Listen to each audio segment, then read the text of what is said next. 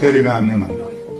و یه کمپینی را انداختم به عنوان من دریاچه ارومیه هستم که قرار بود یک میلیون امضا جمع بشه. اون یک میلیون امضا رو ببریم سازمان ملل و از سازمان ملل درخواست کمک کنیم برای احیای دریاچه ارومیه سه ماه وقت گذاشتم با بچه های خود ارومیه و با کمک شما مردم من یک میلیون و هشتصد هزار تا امضا جمع کردم.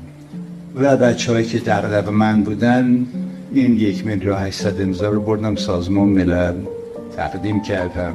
سازمان ملل اونو گرفت و از طریق ژاپن سه میلیون دلار به ایران کمک کرد که دریاچه ارومیه رو احیا ولی سه میلیون دلار نمی‌دونم کجا رفت.